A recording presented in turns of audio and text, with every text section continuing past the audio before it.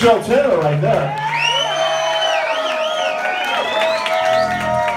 Now, is that some Oakland shit or some New York shit or what?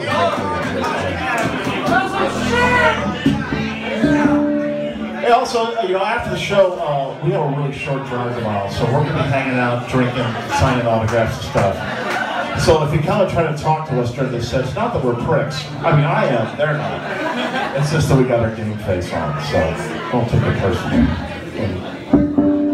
So, now that we're back in California, I'm not sure exactly what the uh, laws are since I've been away, but now is certainly the time to get out your medicinals or your recreationals.